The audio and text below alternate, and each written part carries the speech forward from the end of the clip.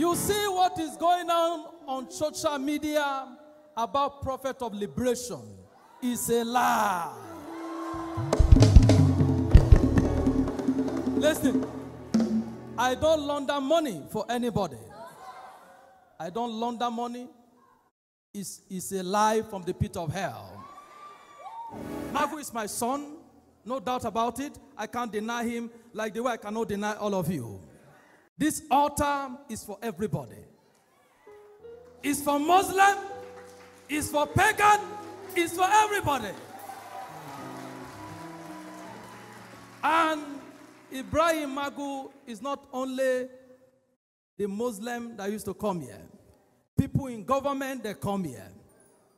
They pray here, they sleep here, they talk to God, and they have result. You know, I'm not surprised. I'm not surprised. It's not a new thing. Jesus went through this. Jesus was persecuted. And if it's that Jesus was not persecuted, they will not hear his name. My name is everywhere.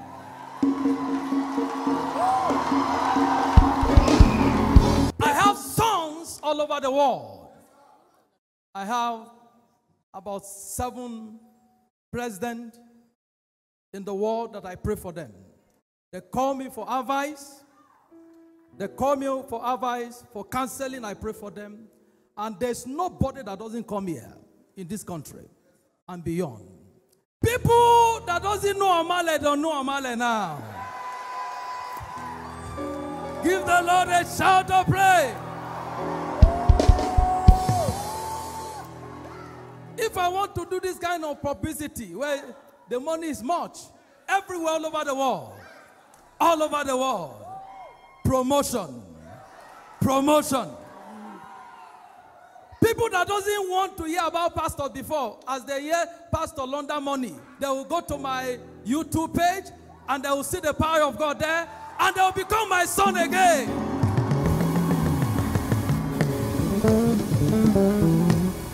Because there is nobody, there's nobody that will watch my YouTube page that will not follow me by force. There's nobody that will hear my voice that will not love me. There's nobody that will see my face that will not love me. My face was everywhere. Publicity. Give the Lord a big hand. Amen. Prophet Omale is a prophet of liberation. I stand for all my sons all over the world. Amen. Give the Lord a big hand.